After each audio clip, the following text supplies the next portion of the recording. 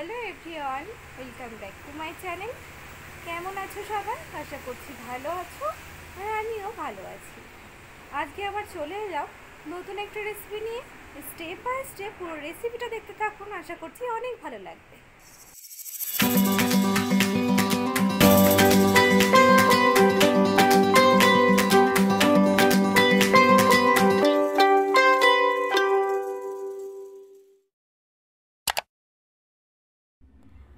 আর চিকেনটা এখানে আমি হাতে মেখে নেব। হাতে মাখা চিকেন আজকে শেয়ার করব আর রান্নাটা ছাদে করছি। তো এখানে স্লাইস করে কাটা কিছু পেঁয়াজ দিয়ে দিলাম। আর চিকেনটা ধুয়ে একটু জল ঝরিয়ে হলুদ ছড়িয়ে রেখেছিলাম, একটু মাখিয়ে।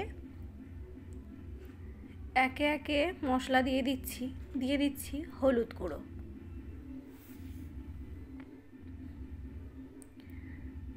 সহজেই কিন্তু এই রান্নাটা করা যায়, কোনো ঝামেলা হয় না। দিয়ে দিলাম স্বাদ মতো একটু নুন। আর ছাদে রান্নার সময় কিন্তু এই ধরনের রান্না হলে আরও বেশ ভালো লাগে। তো ছাদেই রান্নাটা করেছি। এখানে দিয়ে দিচ্ছি জিরে গুঁড়ো, ধনে গুঁড়ো।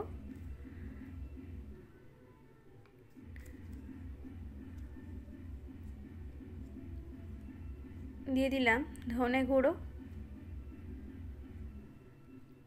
সব মশলা দিয়ে হাতে একটু ভালোভাবে মেখে নেব। একে একে সব উপকরণের মধ্যে আমি দিয়ে দিচ্ছি, দিয়ে দিলাম আদা, রসুন বাটা। আদা, রসুন বাটা দিয়ে দিচ্ছি।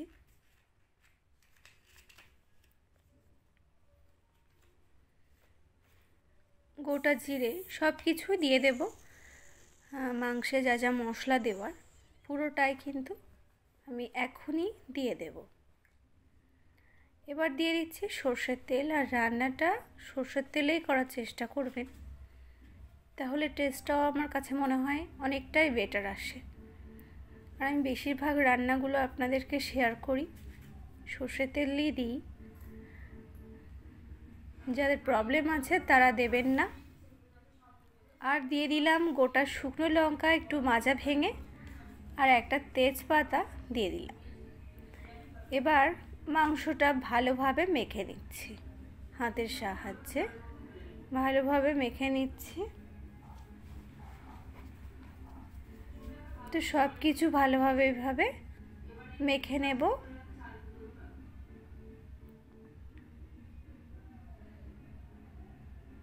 পাত্রটা এখানে ছোট হয়ে গেছে। যেহেতু ছাদে করছি তো আর বারবার কিছু আনা সম্ভব হচ্ছে না। আর এখানে একটু শুকনো লঙ্কার গুঁড়ো দিয়ে দিলাম। যারা শুকনো লঙ্কা খান না, তারা লঙ্কাটাকে অ্যাভয়েড করবেন, কাঁচা লঙ্কা দেবেন। আর এখানে কড়াই গরম করে মাংসটা আমি দিয়ে দিলাম। আর বেশ কিছুটা তেল দিয়ে এখানে কিন্তু মাংসটা মাখার সময় মাখবেন। বেশ কিছুটা তেল দিয়ে।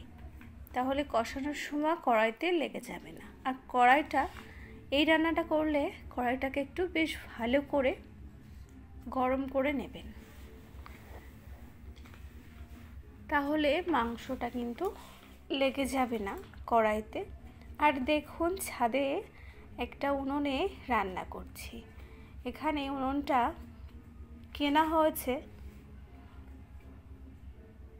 বাড়িরই কিছু কাঠ দিয়ে রান্নাগুলো আমি করছি। এভাবে কার কার বাড়িতে এরকম রান্না হয় তোলা উনুনে একটু বলবেন, আমার কমেন্ট বক্সে অবশ্যই জানাবেন। বেশ ভালো লাগছিল উনুনে রান্না করতে। আর সত্যি কথা বলতে আমরা যারা রান্নার প্রতিনিয়ত করি, রান্নাকে তো ভালোবাসি, আর ভালোবেসে রান্না না করলে রান্নাটা কিন্তু খেতেও ভালো হয় না। আর এখানে কিছু আলু কেটে রেখেছিলাম, যেগুলো একটু কষানোর পরে আলুটা দিয়ে দিচ্ছি। আর এখন তো শীতের সিজন তাই নতুন আলু তো বাজারে পাওয়াই যায়।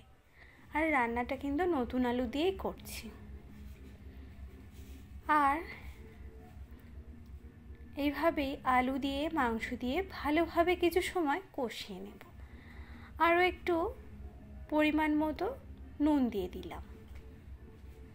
প্রথমে আমি মাংসে মাখার সময় খুব সামান্য নুন দিয়েছিলাম, কারণ নুনটা দিলে কি হয়, জল গলে বেশি।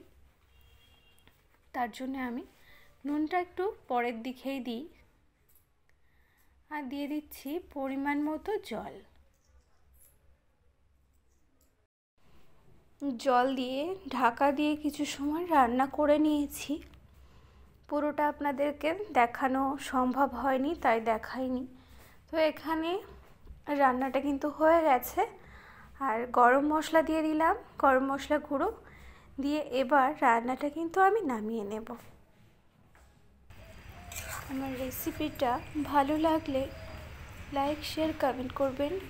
আমার চ্যানেলটিকে সাবস্ক্রাইব করে পাশে থাকা বেল আইকনটি প্রেস করবেন।